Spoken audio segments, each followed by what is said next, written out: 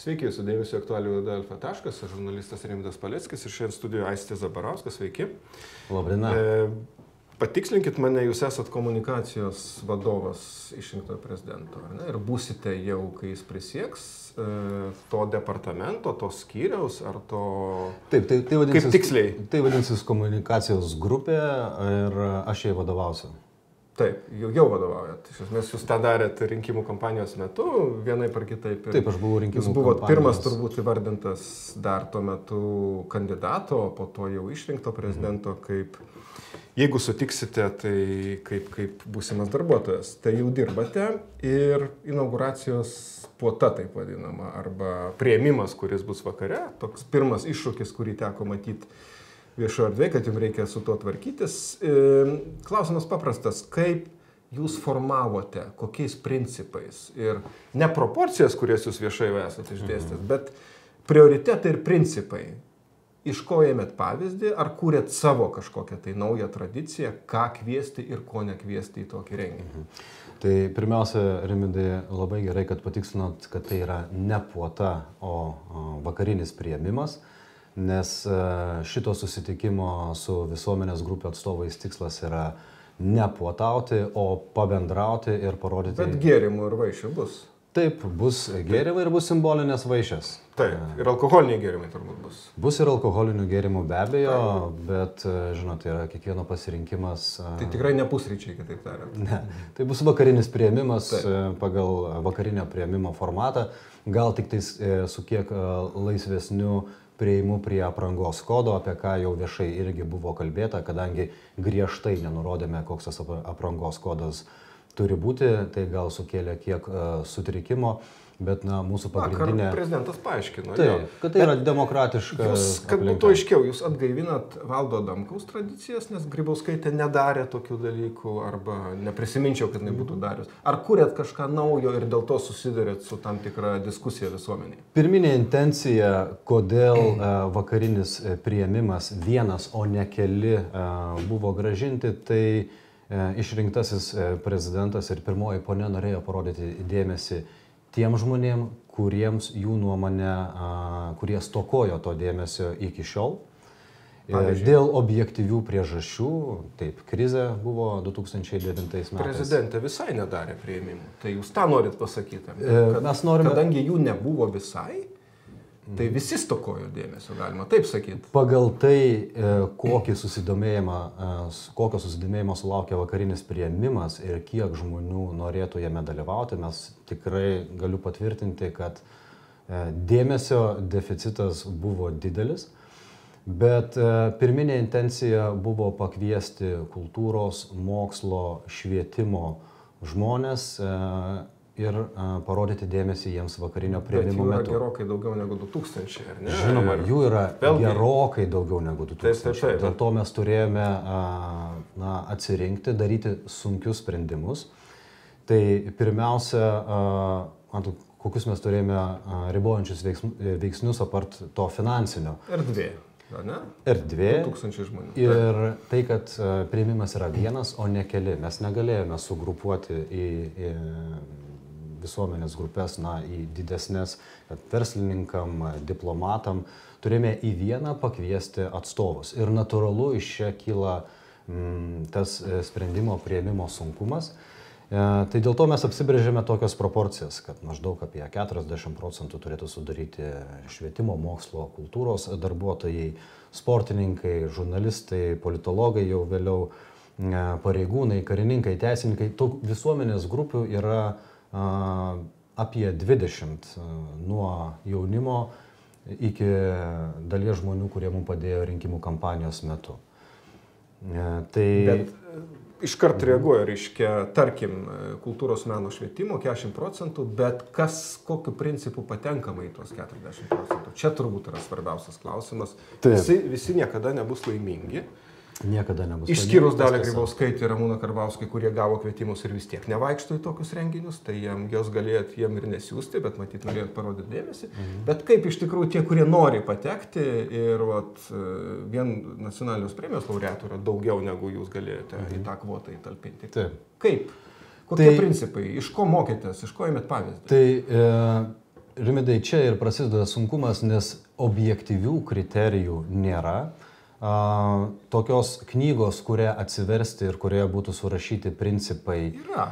Ja, apie protokolą yra daug. Apie protokolą. Tie protokolai skiriasi. Bet, yra. žinot, gyvenimo nesuprotokolinsi. Taip, kad viskas būtų pagal raidę ir kad visi būtų patenkinti. Natūralu, kad. Į kažką reikia remtis, ne? Tai, va, tai ką jūs rėmėtės? Tai- Man tas įdomiausia. Tai grupė žmonių, kurie atrinkinėjo pavardės, jie rėmėsi pajautimu ir na, sveikų protų tam momentui. Ir savo turbūt asmeninę patirtim kažkokią, ar ne? Ir savo asmeninę nuomonę. Nu, kas irgi natūralu. Nei vienas žmogus, vertindamas gyvenimo bet kokį reiškinį ar įvykį, negali apsėti be Taip, savo aš asmeninės kalbu apie nuomonės. subjektivumą. ne? Taip, taip, tai yra subjektyvu. Tai yra subjektyvu ir kam patinka, kam ne, bet bent jau yra aišku. Ir ne? mes, mes žinojame, kad tai gali sukelti ir nepasitenkinimo, ir nuoskaudų, bet supratome, kad na, tą karštį mes turėsime priimti. Apgailestaujame. geri nebūsit. Apgailestaujame dėl to. O tiksliau, bet, e, daugumai geri nebūsit, nes dauguma liko nepakviesta, o mažuma liko pakviesta, nes tas erdvė tiesa, nedidelė. Tas tiesa, bet uh, kokią uh, žinią mes siunčiame uh, kitiems žmonėms, kad tai yra pradžia, tai yra ne pabaiga, tai yra pradžia. Kad šitas renginys yra simbolinis, taip mes negalime visų pakviesti, taip mes apgalėstaujame, kad dauguma liko nepakviesti, bet bus formatų, kuriuo, kuriais mes galėsime su jais dirbti ir rodyti dėmesį per ateinančius penkerius metus. Gal iš vis nereikėjo daryti tokio renginio, o iš karto pradėti nuo tų formatų, apie kuriuos dabar kalbat. Ir ta įtampa būtų mažesnė turbūt. O žinoma, kad... Gal a, Grybauskaitė būtų- dėl to taip ir elgėsi. Bu, tai eiti keliu nieko nedaryti visada yra Ne apie tai kalbu. Didžiąją Ne dalį nieko nedaryti, daryti. bet kitaip daryti. nedaryti vakarinio prieimimo, būtų Taip. buvę lengviau tiek turint minti, kad tuo pačiu metu mes turėjome dar ir burti komandą, turėjome dalyvauti politinėse aktualijose ir, ir, ir formuoti savo nuomonę dėl pirmųjų darbų, taip pat ruoštis pirmiesiam vizitams į užsienį, tai net ir pačiai inauguracijai e, visiems renginiams iki vakarinio prieimimo taip pat. Tai žinoma, jo nedaryti būtų buvę lengviau, tačiau išrinktojo prezidento valia buvo parodyti dėmesį švietimo, kultūros, mokslo žmonėms ir Gerai. kitoms visuomenės grupėms. Tai tą dar matysime, aišku, įsivaizduoju, dėmesys bus didelis ir visos nuotraukos ir, ir, ir viskas pateks į viešumą, bus ką aptarti ir vėliau, ypač bulvariniai spaudai. Bet e, rimtai šnekant, kaip taip atsitinka, kad nepakviečiami signatarai, tada jie prabyla ir tada jie gauna kvietimus. Ar visi gauna signatarai kvietimus? Mhm. Ir ar nesigaus taip, kad jie netilps, nes jūs turbūt jau buvote suskaičiavę kvotą žmonių ir staiga pasirodo, yra tos vietos, ar ne, kai kažkas pareiškia pretenziją, kodėl liko nepagerbtas, nors jaučiasi nusipelnęs, ar ne, taip galima sakyti. Taip, tas dėmuo, kad žmonės yra nusipelnę, jisai yra svarbus kriterijus kviečiant į vakarinį prieimimą. Tačiau netgi būti nusipelnusiu ir būti pripažintu už tai, tai dar nėra a, tas svoris, kuris nusveria, ar žmogus bus kviečiamas ar ne. Nes jeigu vėlgi žiūrėtume pagal subjektivumo kriterijus, bet kuris dorai Lietuvoje a, dirbantis pilietis yra jau, jau yra valstybei nusipelnęs žmogus. Ar jisai augina vaikus, ar jisai dalyvauja nevyriausybinio organizacijų veikloje. Tai ar Taip, signatarai- nepakviesit, Jo, Ar tarsi. signatarai už juos yra labiau nusipelnę ar ne, man dabar yra spręsti sunku. Ką aš galiu pasakyti, kad mes neėmėme visuomenės grupių pagal sąrašus ir e, nesprendėme, kad būtinai turime pakviesti visus signatarus, kad būtinai turime pakviesti Visus Seimo narius? visus Seimo narius, e, politinių o, Merus? partijų atstovus, merus. Taip, tai mes to nedarėme dėl to, kad laikėmės atstovavimo principo. Ir tarp žmonių, kurie, beje, tam pradiniam sąraše apie 30 politikų yra, tarp jų yra ir signatarai. Ne, nebejoju. Taip, Ir- ir, ir- ir Vytautas Taip, pavyzdžiui. ir, ar ne? ir na, mes darome prielaidą, kad signatarų viso e, grupė yra atstovaujama na, to žmogaus. Tokio principo. Bet matome, kad e, tas e, buvo interpretuojama. Aš patikslinu, Esti, jūs pakvietėt visus signatarus po to, kai prezidentė signatarų viešai apgalėstavo, kad Bent jau jinai negavo. Taip, kvietimo. taip, mes visus pakvietėme. Mes pakvietėme signatarus, taip. Tilps jie tenai, ne? nes čia on top maždaug apie šimtą žmonių, nu mažiau. Taip, ieškosime būdų, kad tilptų. Kažką gal išbraukite iš sąrašų, ne?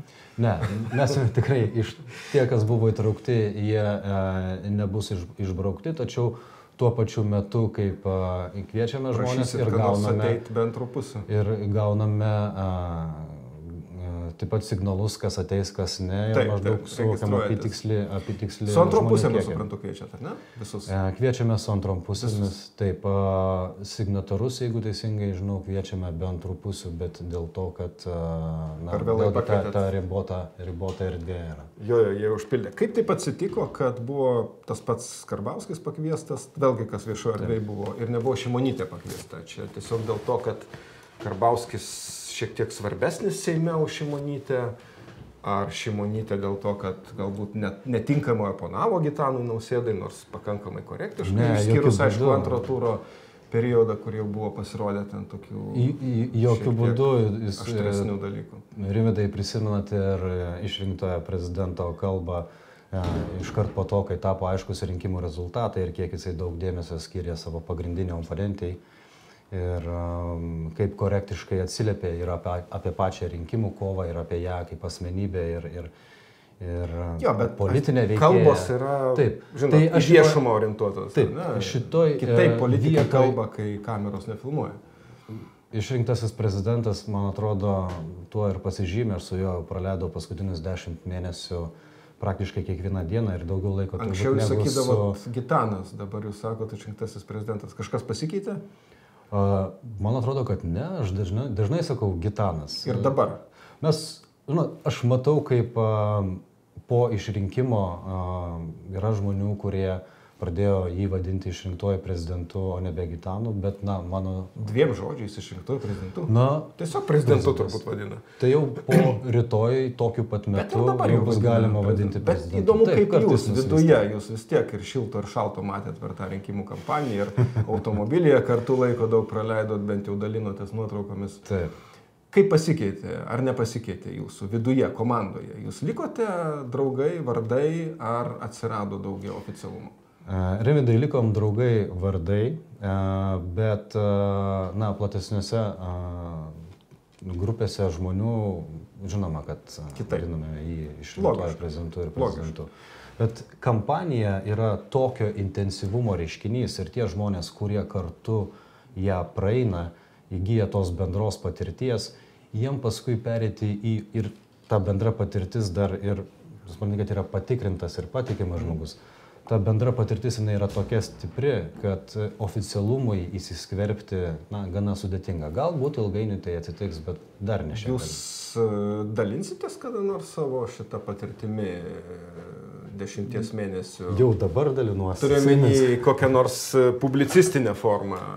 Galvojate, užsirašinėjote, fiksavote tos momentus? Nu, bent jau Facebook'e fiksavote, taip, bet turbūt ne viską, ne? Žinoma, ne viską. Aš dienoraščio nevedžiau dėl to, kad vėlgi tai yra tokia intensyvi dienotvarkė yra, kad arba kažką darai, arba ilsiesi po to, ką darai. Tom trupom akimirkom jau nebe, nebekyla minčių. Daug, aisti, daug kas pasimiršta. Tai mano patarimas dabar atsisėsti ir surašyti, bent jau savo, o ką tai, jau toliau su tuo darysi, tai. čia jūsų reikalas. Aš nesu tas žmogus, kuris uh, mėgsta reiškia, rašyti memorus ar dienoraščius. Uh, Bet tai valstybės istorijos dalis. Tai nėra asmeninė. Aš esu dalykai. tikras, kad šitoje istorijos dalyje dalyvavo tiek žmonių, kurie, kurie norės pasidalinti savo uh, prisiminimais, kad Jūs mano neužrašytų prisiminimų. Gerai, čia ne, ne apie tai. Grįžtam prie Ingridos Šimonytės. Vis dėlto jinai gavo kvietimą? Um, Ingrid... Dar yra laiko. Dar yra laiko, bet uh, matot, mes vėlgi grįžtam prie to atstovavimo principo. Dėl visuomenės grupės atstovavimo. 400 tūkstančių balsų yra šis tas, ar ne? Taip. Jeigu tai, tai nėra atstovavimas, tai kas tai yra tada?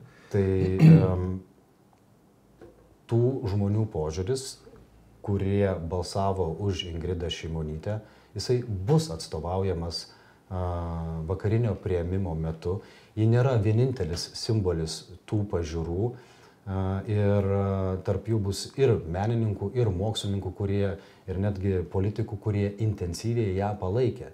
Tai mūsų požiūriu nebūtina kviesti jos kaip simbolio tam, kad būtų parodyta pagarba jos rinkėjams. Mes rinkėjus gerbėme ir tai nereiškia, kad Ingrida Šimonytė tyčia nebuvo pakviesta. Tiesiog mes galvojame, kad e, tiek jos atstovaujamas vertybės pozicija ir, ir, ir rinkėjas e, savo atstovus prieimime turės.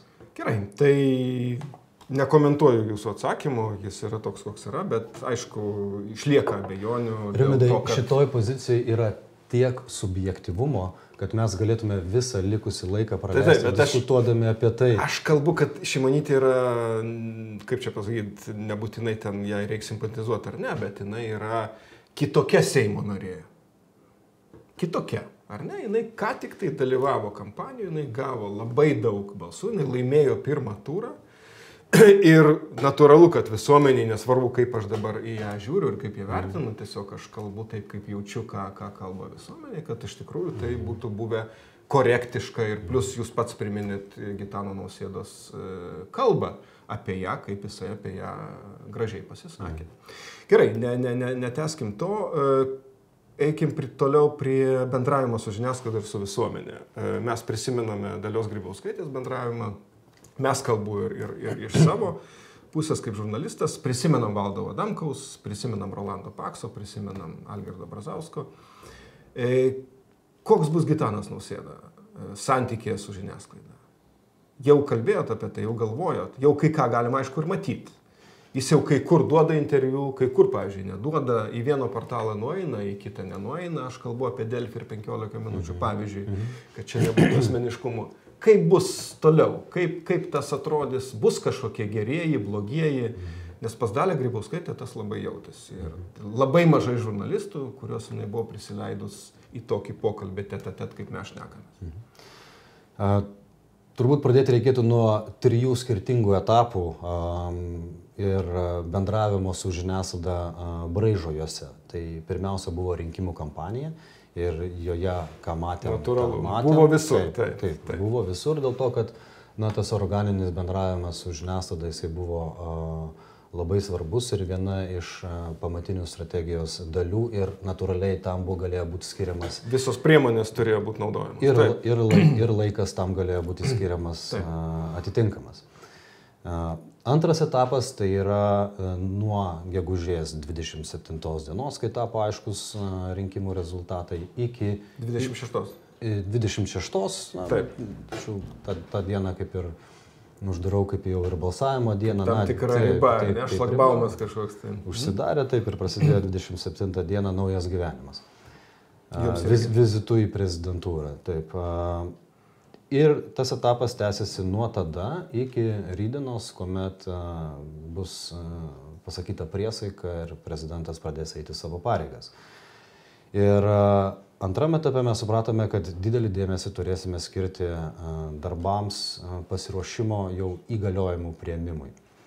Tai tiek pačiai inauguracijai, tiek vizitams, tiek vyriausybės formavimui, eurokomisaro skirimas, mūsų pačių komandos formavimas. Skirs vyriausybė, ne prezidentas. Eurokomisaras. Taip, taip, bet na, prezidentas e, Dalyvau, dalyvauja ir nuomonę turėti turi, o tam, kad turėtų nuomonę, jisai turi pasirengti taip. ir vertinti jis jau turi įvairius. Pavardę. Um, turi?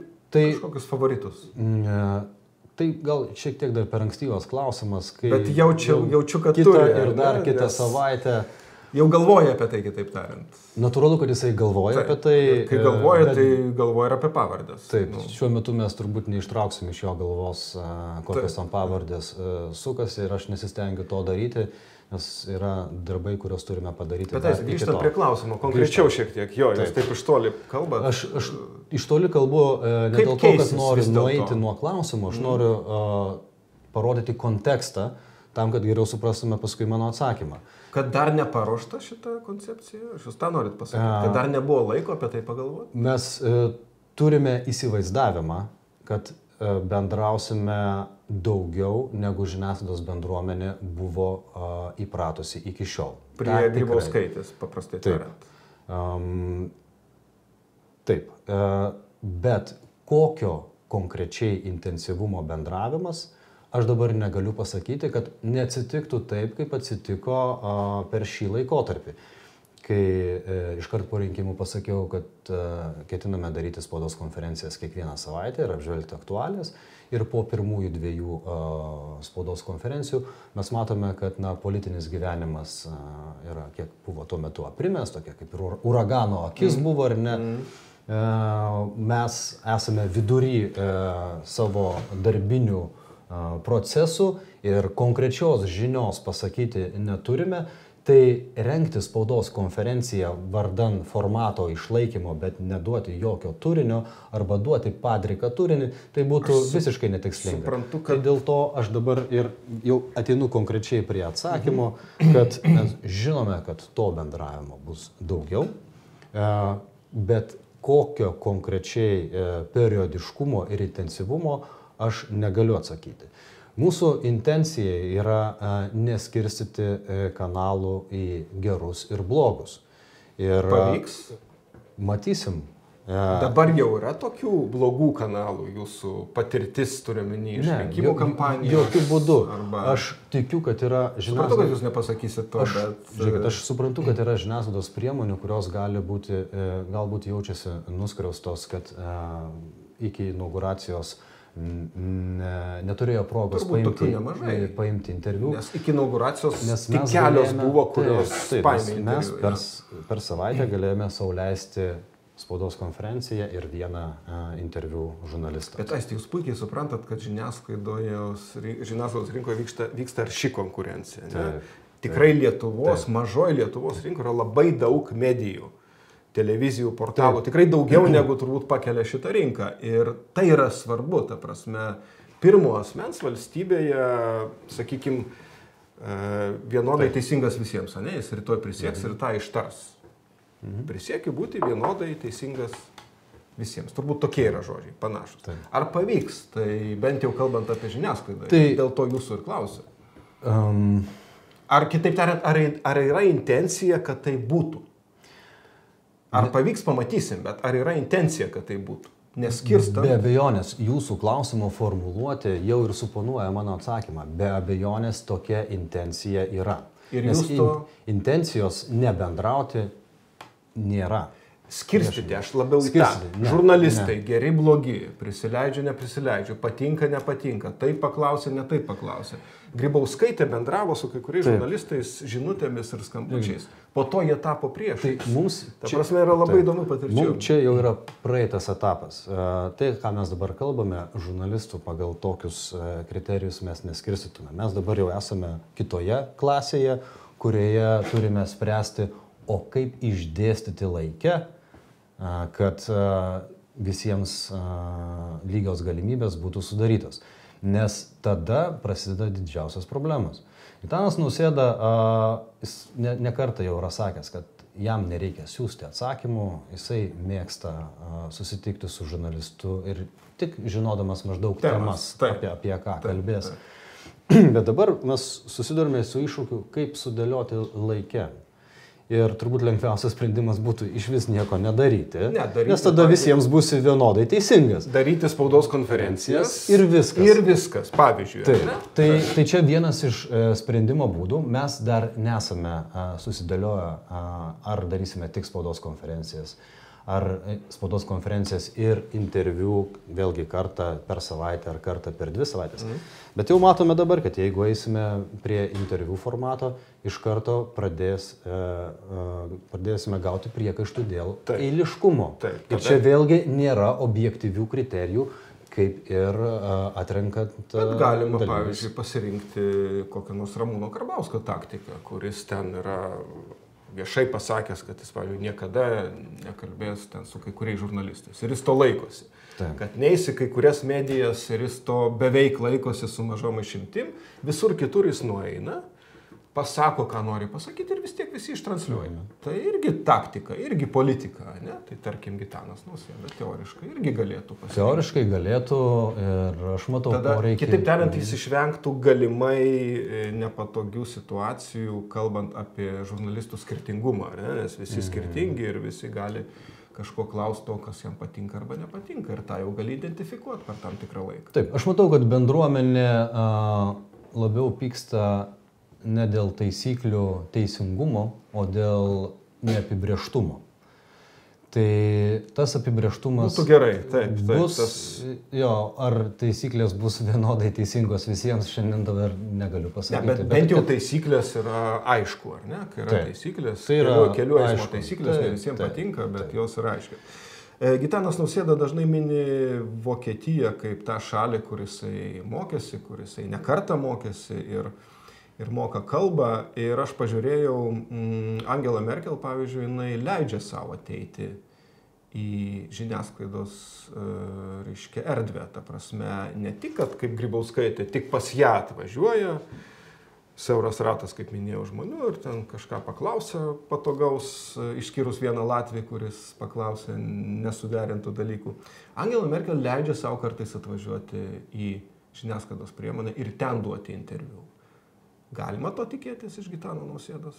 Ar jis priminės tik pas save, taip kaip buvo jau dabar šitam laikotarpį, kad jau pas jį važiuoja, jau jis neina. Mhm. Nei į Lietuvos rytą, nei į LRT, nei į Delfį, pas jį atvažiuoja. Kaip bus toliau? Em, Vėlgi tai jau klausimas apie konkretų braižą, ar ne, konkrečią a, bendravimo su žiniasklaida taisyklę. Šiandien čia sėdėdamas prie, su jumis prie šito stalo, aš nematau priežasčių, kodėl a, konkrečiose situacijose prezidentas negalėtų atvykti į studiją ir a, duoti interviu a, žiniasklaidos priemoniai. Šiandien aš to nematau. Kai mes dėliosime bendravimo su žiniasklaida politiką, gali kilti e, argumentų nevykti, to nedaryti. Ir tada mes aiškiai iš, iškomunikuosime. Dar kad- nedėliojot to, tos politikos? Dar nebuvo Ant laiko? mūsų, ant mūsų stalo yra tiek Daug daug, atverstų dokumentų Vieną ir atsinešėt. su nepadėtais parašais, kad jau išspręstas klausimas, kad dar yra nesudėliota, nuo pirmadienio pradeda dirbti a, komanda, komunikacijos komanda jau yra pilnai suformuota. Patarėjai tiesa. beje bus linkę vaikščioti į laidas, į portalus, į televizijas. Taip, a, mes e, norėtume, kad patarėjai Aktyviau- aktyviai dalyvautų a, viešajam diskurse ir diskusijose, tiek ateitų į laidas, e, tiek dalyvautų renginiuose, duotų interviu, skaitytų pranešimus. Dėl to, kad bus temų, kurioje, kuriuose ši prezidentūra bus aktyvi apart na, tos klasikinės politikos. Tai ir regionų klausimai, tai ir švietimo ir kultūros situacija, ir nacionaliniai susitarimai.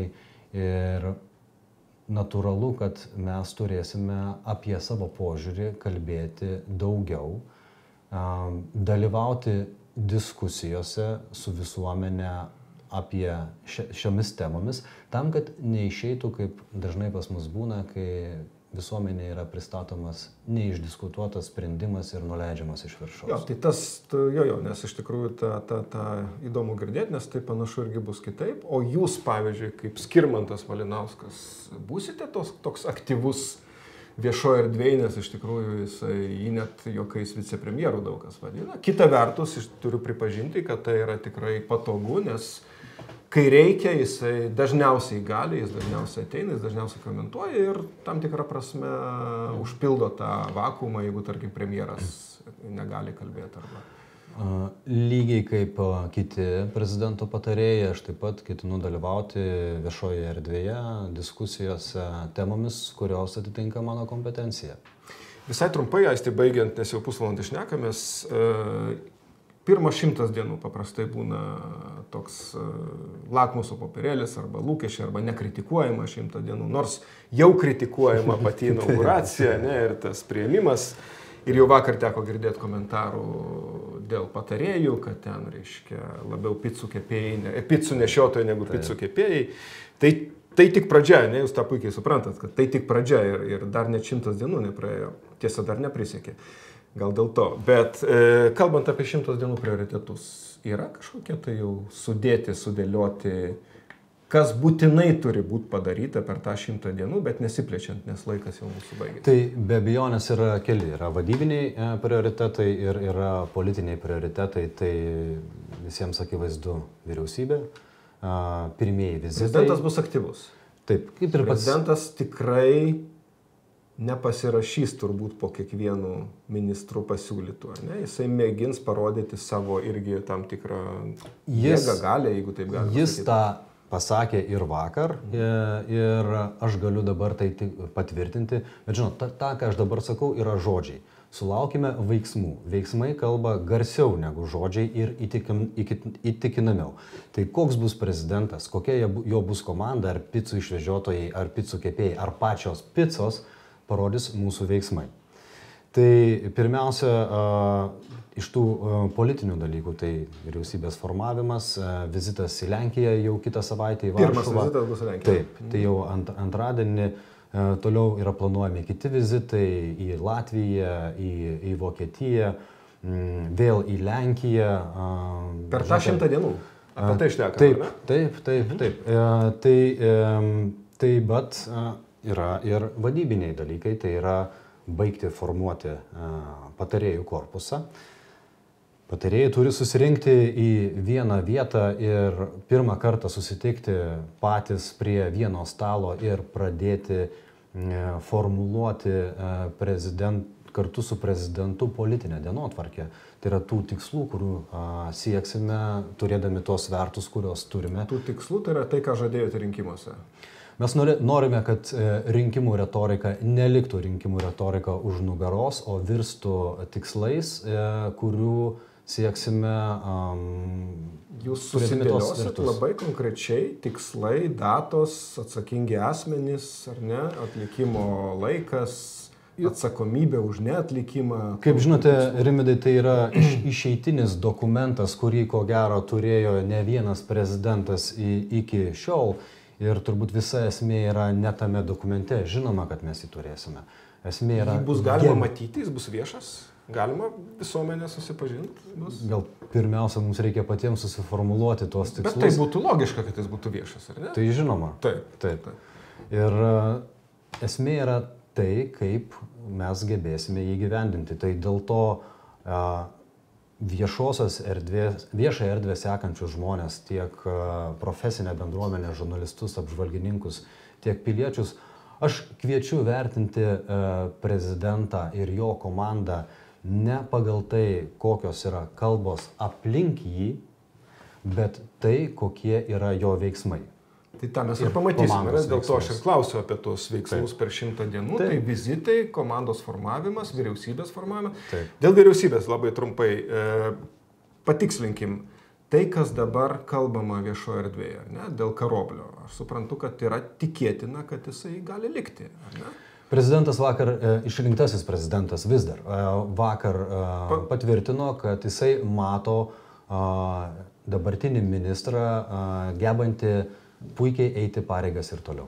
Tačiau, aš suprantu, jis supainiojo vidaus reikalų ministerijos užsienio reikalų ministerijos. ar Tai- ne? Ar, ar, nes jūsų patikslinimas buvo vakar. Taip. Tai kaip taip, kaip taip atsit, gali atsitikti, kad, reiškia, supainiojamos ministerijos? Čia tiesiog e, raidės, žodžiai. Tai jisai- čia tik yra, aš šito visiškai nesureikšminu, tai tik tais yra žodis e, vietoj užsienio vidaus ir, ir viskas. Nu, tai labai skirtingi žodžiai šiaip. Tai bet, žinoma. e, jo, jo, Bet tai, tai... kiekvienas iš mūsų tiek e, profesinėje erdvėje, tiek asmeniniam gyvenime esame pavartoję. aš įsivaizduoju, kaip vakar jautėsi vidaus reikalų ministras, kai jis pirmą išgirdo vieną žinią, o Taip. po to atėjo patikslinimas, ar ne? Tai- Ministrai yra užsigrūdinę žmonės, apgalėstauju, kad jeigu jisai patyrė kokių neigiamų emocijų, Aš tik dėl to, spėlioju, bet aš esu tikras, kad nežinau. jisai, jisai turėjo Tai teisę kalba buvo apie užsienio reikalų ministeriją. Taip, kalba apie apie krašto apsaugos ministeriją. Tai krašto- šitos turbūt bus kertinės. Ir kaip prisimenate, vakar e, Gitanas Nausėda taip pat sakė ir kad e, na, socialinės apsaugos ir darbo ministerija taip pat yra svarbi ir jis, e, na, ir, ir na, su šypsena sakė, kad būtų ją galima per, pervadinti ir gerovės valstybės mm. ministeriją, nes tenais yra be galo daug sričių, nuo kurių priklauso gerovė valstybėje. Gali būti tokia iniciatyva pervadinta, ar ne? Ne nuo pavadinimų reikėtų pradėti, Taip, taip, vėlgi nuo, vėliau, nuo darbų. vėliau. kažkuriam etape. Nemanau, kad tai keistų esmę. Gal tai būtų uh, gražu, bet esmės tas nekeičia. Tai geriau o, einam prie darbų, o ne prie pavadinimo. Ta jo frazė apie kostiumus, kad vieni jau neskubėtų siūtis ar ne ministrai, o kiti neskubėtų atiduoti į, savo, į šitą, į, į komisą. Čia jūsų padiktuota, ar čia jis uh, sugalvojo ekspromptų? Gitanas Nausėda nuo rinkimų kampanijos meto kalba ne tai, kas jam yra padiktuota, o tai, kaip jisai mato. Mes tik tais prieš tai apsitarėme, bet apsitarėme pozicijas, bet jokių būdų ne konkrečius žodžius ir palyginimus. Visai baigiant, ministrai, aš suprantu, bus, reiškia, beje, minimas diplomatas viešoje erdvėje į krašto apsaugos ministrus. Ką nors jums, jūs ką nors apie tai žinote? Aš Nenorėčiau dabar komentuoti e, ministrų. Viena tai yra ne mano darbo laukas, antra jau visai netrukus kitą savaitę prasidės apie tai diskusijos, tai gal tiesiog palaukime. Neoficialiai jau yra pavardės prezidentūroje kažkaip minimos ar matytos ar pateiktos.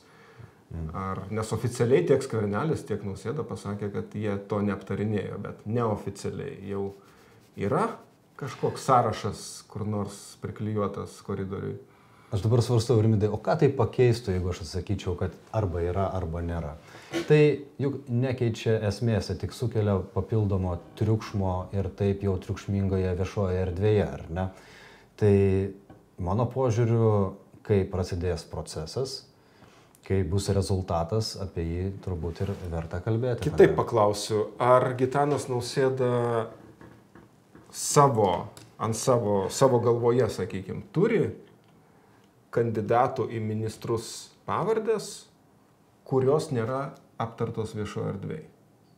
Visai kitos pavardės, negu kad mes iki šiol girdim, linksniuojam ir spekuliuojam. Norėčiau permatyti, žiūrėdamas jam į akis, kas yra jo mintise, bet negaliu to padaryti. Tai aš nežinau, ar, ar jisai nešiojasi pavardės. Nesišnekat apie tai. Mes šnekamės apie labai daug dalykų, bet uh, yra dalykų, apie kuriuos jisai masto ir kalba tik tada, kai mano, kad jau laikas apie tai kalbėti ir aš visiškai pasitikiu jo sprendimais. Gerai, ačiū labai už pokalbį. Mes čia galim ir ilgiau tęsti, nes mūsų neįpareigoja, taip sakant, tinklelio uh, rėmai, bet uh, panaudosiu tą principą, kurį jūs pasakėte pačioje pradžioje, kad e, prieimimas šiandien tai yra tik pradžia. Tai aš irgi manau, kad mūsų pokalbis yra tik pradžia ir tikiuosi, kad mes turėsime laiko užuot viską šiandien apkalbėję, o visko vis tiek negalime apkalbėti. Padarysim tą vėliau ir tikrai dėkingas, kad radote laiko ir atėjote, nors ir to inauguracija ir tikrai laikas spaudžia. Ačiū visiems žiūrėjusiems šią laidą, galite ją matyti e, jums patogiu laiku Alfa LT portale ir Alfa LT Facebook'e iki kitos savaitės. Dėkojom, iki. Ačiū.